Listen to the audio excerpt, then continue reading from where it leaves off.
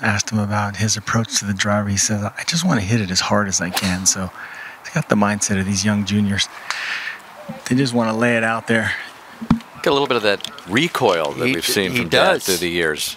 And this one just tumbling up the left side of the fairway. That's out there in really good ways. Well, we've seen another- Dad swing for all these years. Justin, what about young Charlie? Oh, he's got a beautiful move. They don't talk a lot about technique. It's more about hitting shots. We saw that on display back there with his second shot at the par five, hooking that five wood around the tree. It's awesome. Looking on to Charlie. Oh, he oh. just roasted this one. Did he ever? Yeah, took it over the corner. That's awesome. What pressure? So far, he's he's handling all the pressure quite well. Charlie wanted to know exactly where his dad's ball was. Wants to know exactly what he has to do. Come over this one just a bit. Coming in low is going to have trouble stopping. Yeah, it's not going to hold the green. See that closely mown area in the back?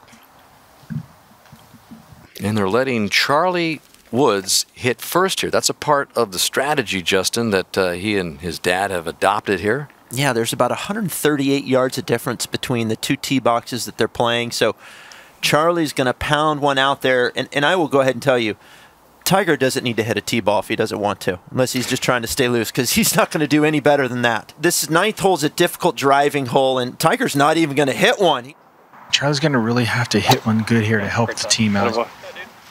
and that's kind of what he did just now. Just rip it and pick up the tee because he knows exactly where it's going. There's been a lot of that this week. Yes, there has. He is confident. He does not look like an 11 year old kid.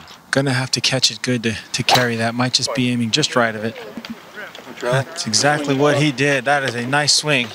He is grooving that driver. It's just automatic. Picks up the tee quickly, moves on, getting Tiger in great position. He can probably just take dead aim and see if he can pull it off.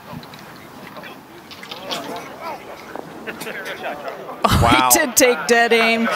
Landed a little bit on the downslope, but that was a gorgeous shot. And Jimmy, same strategy they utilized on the ninth hole to perfection. Charlie pounded one out there, left him just 95 yards to the hole. He can do the same here. Oh, this is another good one here. Beautiful swing. Tiger doesn't need to swing at all. And you hear the crowd reaction. Not many of them here, but people are just amazed by this. And Tiger's just going to walk off the box because how am I going to do any better than that? As long as Charlie hits something resembling solid and straightish, I, I have a feeling they're definitely going to use his drive. I Seems to like it. Yeah, I think he did, for good reason. Gives him the thumbs up. How good is that? That ball wasn't even close to landing before he gave Yeah, him the when you thumbs pick up. the tee up before the ball hits the ground, it's a good indication. Here it is. He gave the thumbs up before he even knew that it flew the bunker. He knew it was going to. We're okay, Dad. Charlie, you got us? Okay. Yep, you got it. They're just working on his alignment there, and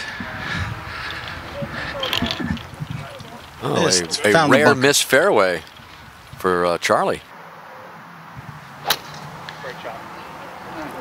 Tiger loves it. yeah, How about, how about the way he goes after those those tee shots?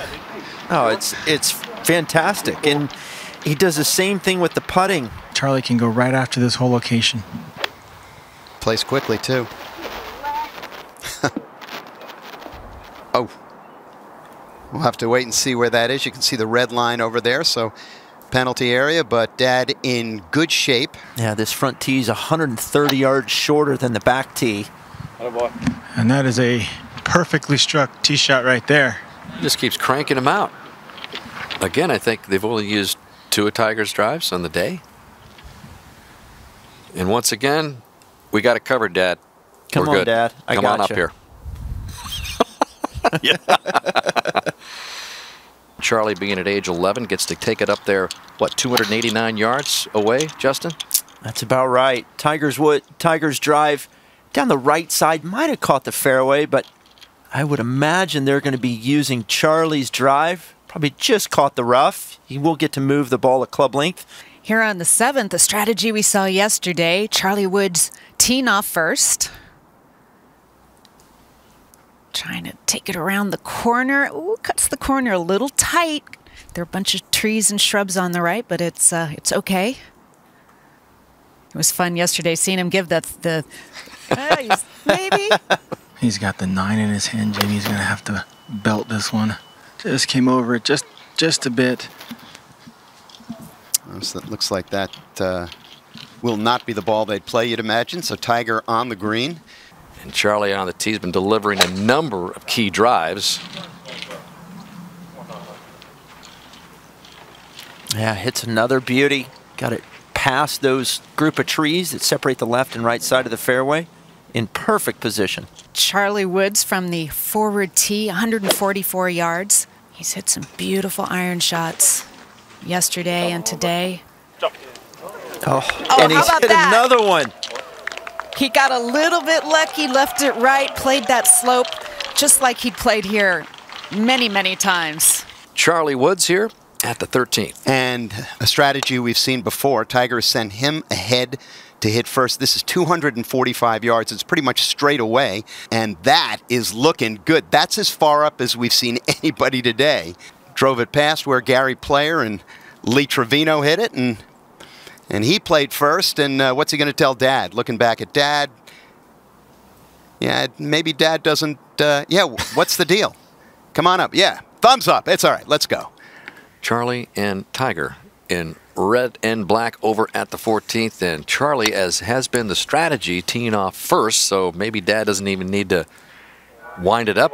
Well, yeah, this the Charlie tees are 150 yards forward in the back tee, and he crushed it, flew it over the bunker. I would imagine he probably gave Dad the thumbs up. Dad, you don't need to hit one here. there it there is. it is. Come Let's on. go. Come on, Dad. Let's get down here. We're gonna go make a three on this par five. Back to 15 and Charlie Woods. And here he is up on the Charlie tees, as you mentioned, Justin. And almost the identical shot yes, he hit yesterday. Wow. Just hopped over, though. Yeah, jumped over the bunker, and that's down there pretty far with the club length. They won't be able to get it in the fairway, but can certainly get a great lie over there. Charlie off the tee at 16. Under the watchful eye of his dad, who hit a good tee shot himself into the middle of the fairway. So, uh, a couple of choices that Team Woods can uh, take. This is probably a mid iron, a five or six iron, but he's got enough room to land it on the green and let it release back to the hole. And that's what, ex- exactly what it's going to do there. Good swing, Chuck. Chuck. I guess. With his tee shot at 18, again, the Charlie tees just 418 at this par 5. Just hammered another one, just like yesterday. Yep, you've already seen it a few times. If you've been watching our coverage, come on up, Dad. We got it covered.